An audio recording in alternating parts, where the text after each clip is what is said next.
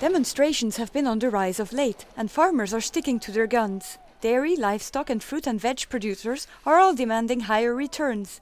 Their message has reached MEPs and has given rise to several initiatives in the European Parliament. Aujourd'hui, il y a de plus en plus d'argent qui est fait par la production agricole, mais ce ne sont pas les paysans qui en bénéficient, c'est la grande transformation et la grande distribution. Donc il faut rééquilibrer.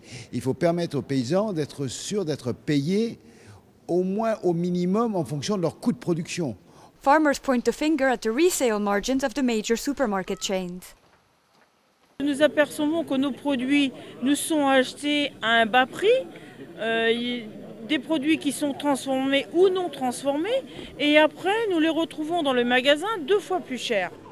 But for the big distributors, the problem is located further up the food chain. Quand les prix sont bas, on dit c'est la faute aux grandes surfaces.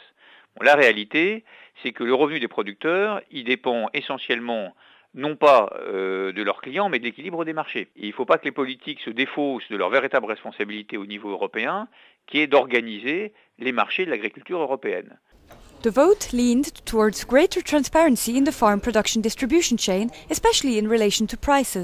Ja, wir haben versucht, äh, vor allem diese Marktmacht der Lebensmittelketten und der Lebensmittelindustrie äh, etwas zu verringern und äh, vor allem ähm, die Verhandlungsmacht der Landwirte und der Erzeugergemeinschaften ähm, etwas zu verstärken. Since 1996, the price of food products has increased by 3.3%, whilst farmers' incomes have only gone up by 2.1%, and the costs of production have soared by 3.6%.